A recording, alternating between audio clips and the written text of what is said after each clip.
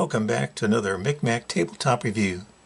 Today we'll be taking a look at the recoil spring calibration on a Smith & Wesson Model 915. Here's my Model 915, probably produced in the early 90s. It's a third generation all-metal, full-size, double single action, high-capacity 9mm pistol. These numbered series guns were popular before the polymer gun craze. The 915 is one of the last of the Smith & Wesson high-capacity Wonder 9s from the era. It's also one of Smith & Wesson's no-frills budget guns from its Value series. Still, it's a nice gun, although it's obviously seen a bit of use and abuse in its life. I just did a full review of this gun recently and noted that its recoil spring was getting weak. If you're interested, see episode 2023-20. The slide has been failing to completely return the battery when fired. I switched out the recoil spring from another of my Smith & Wesson full-size 9mm pistols, my Model 59, and that seemed to solve the problem. So a new recoil spring is obviously needed here. No problem. Factory replacement 14-pound recoil springs are inexpensive and readily available for this gun. That's because the recoil springs are all the same for all the full-size Smith & Wesson first, second, and third generation double single action numbered series pistols, of which there are a bunch. Of course, we're talking about the 9mm pistol series. However, as I was about to order the replacement spring from Wolff Gunsprings for about $8, I noted that a calibration pack was available with a factory weight 14 pound recoil spring and one each of 16, 17, 18, and 20 pound extra power recoil springs. And three extra power firing pin springs were also included. Well, given that I currently own three of the Smith & Wesson numbered series pistols, I thought it made sense to spend the $31.49 to have the extra springs. I mean, you never know. And to see if any of these recoil springs might appreciably improve the action on this 915 to my liking. And by the way, even lighter 8, 10, and 12 pound recoil springs are available. About a year ago, I got a calibration pack for my FEG PA63 from Wolff Gunsprings, and the results I was able to achieve were amazing. It's a totally different gun, so I'm optimistic that I should be able to obtain at least improved results with my Model 915. Let's see if that's the case. But first, let's make sure this gun is cleared first.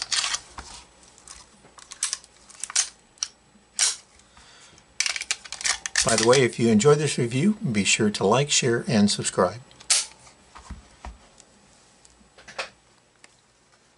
So here's the calibration pack. There are five recoil springs and there are three extra power firing pin springs. We'll only use the recoil springs here, so I'm going to set the firing pin springs aside.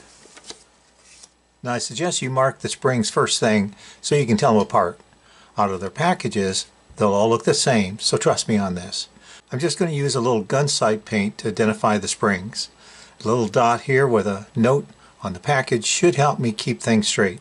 One dot for a 14 pound factory spring, two dots for the 16 pound spring, three dots for the 17 pound spring, and so forth. It's recommended we start with the strongest spring first, and that'd be the 20 pound spring, and then move to the next strongest until we've tested them all. So we'll start with the 20 pound spring. So here they are, they're all marked, starting with the lightest, the 14 pound spring, on up to the heaviest, the 20 pound spring. Easily identifiable now. So let's disassemble the gun first. We've made sure that it's cleared. I'm going to remove the magazine, put the safety off, put the hammer back, and then we're going to bring the slide back until the end of the takedown lever is lined up with the notch in the slide push the lever out from the other side and remove it. That allows us to remove the slide. And then we just remove the spring and rod and we're just going to replace the spring. We'll set that one aside. We're going to begin with our 20 pound spring.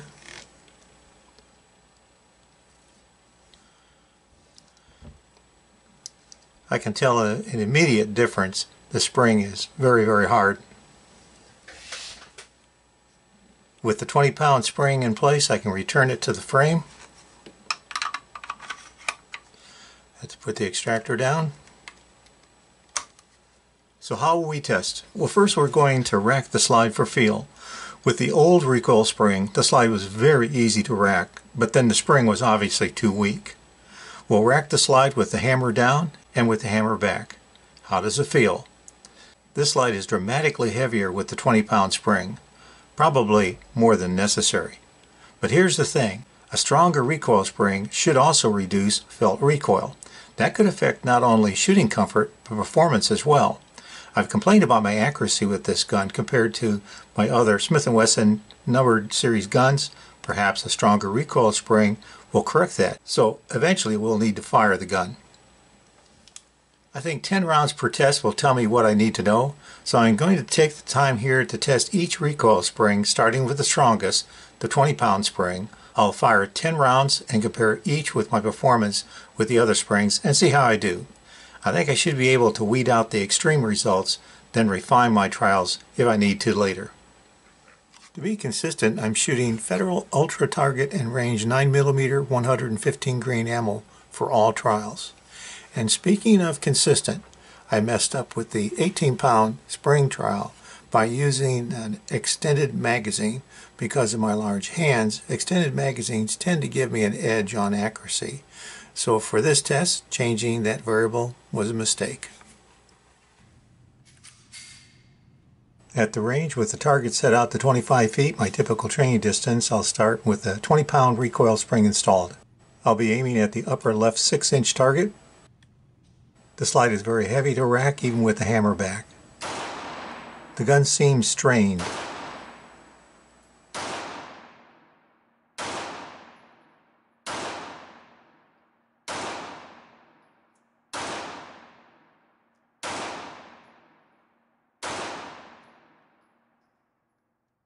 Next to last round didn't fully eject.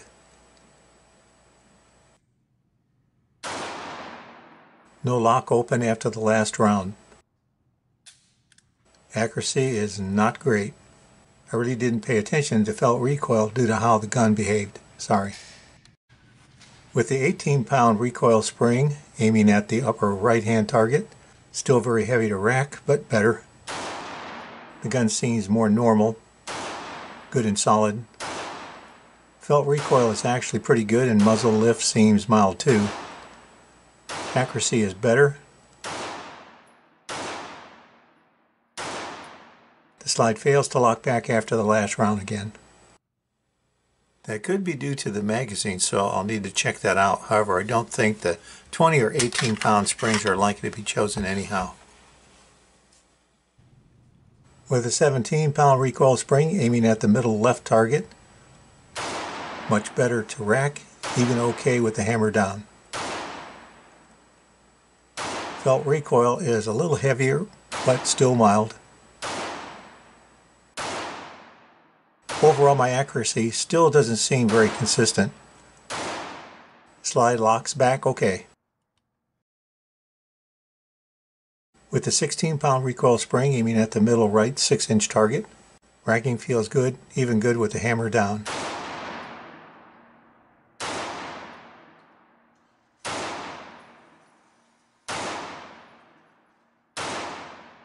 I can feel the felt recoil a bit more, but muzzle rise still seems minimal. Accuracy at 25 feet is greatly improved. Closer to what I'm used to with the 9mm full-size pistols with the factory 14 pound recoil spring aiming at the lower left target. Light to rack feels very good.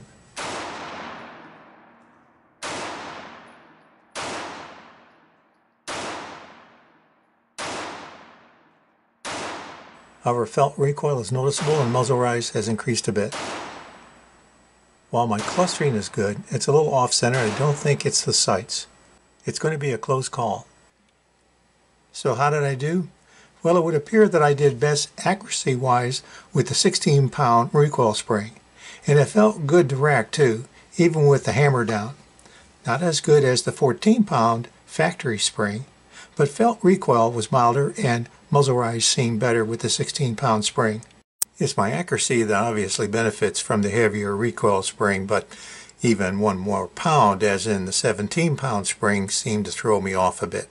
Interestingly, the felt recoil seemed best with the 18 pound spring, but it only improved my accuracy a little. Uh, my sweet spot with this gun appears to be the 16 pound recoil spring. Good accuracy, and the gun feels good when shooting. Moving the target out to 35 feet and returning to the 16 pound recoil spring and shooting a bit more confirmed that the 16 pound spring seems to work pretty well for me in this gun.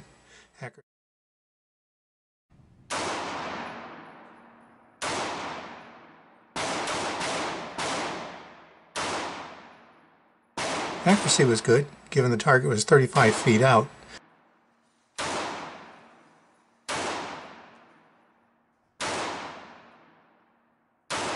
To do this right though, I should probably try these springs, at least the 16 and the 14 pound, more at 35 feet to see which I'm more consistently accurate with.